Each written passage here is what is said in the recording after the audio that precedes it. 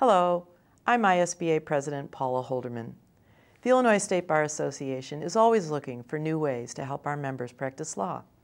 I spoke recently with Jim McCluskey, Secretary of the ISBA Board of Governors and co-chair of our Facilities and Technology Committee about one of those benefits.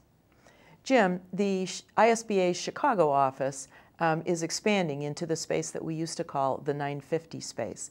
And you, as the chair of the facilities uh, committee, are in charge of that. Can you tell us about what you've got planned for that space?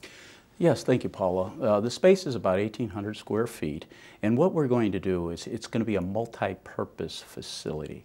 We're going to have video conferencing, we're going to have section councils, we're going to have committees uh, meet there, and we also have a nice area for a lounge area for lawyers to meet on an informal basis.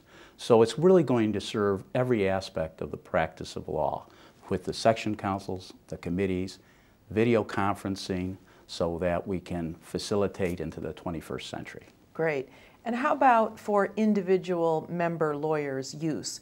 Will there be any spaces that our members can use? Yes, there will be some areas that in which they can come in with their laptops, their iPads, they can plug in through the wireless internet uh, service. And they can meet clients too for depositions, for conferencing, for mediations. All they have to do is contact our office. Oh, great. Let me follow up on that. How would a member reserve a space to, say, take a DEP or meet with a client? We, we have uh, a, a setup or a, a, schedule to call the Springfield office. So anytime a member of the Illinois State Bar Association would like to set up a private deposition, a mediation, or a conference. They simply have to call the 1-800 number down in Springfield and there will be someone there to facilitate the process in a timely and an efficient manner. That's great. Now I know your committee has been working uh, very hard. When do you expect that um, this space would be ready for member use?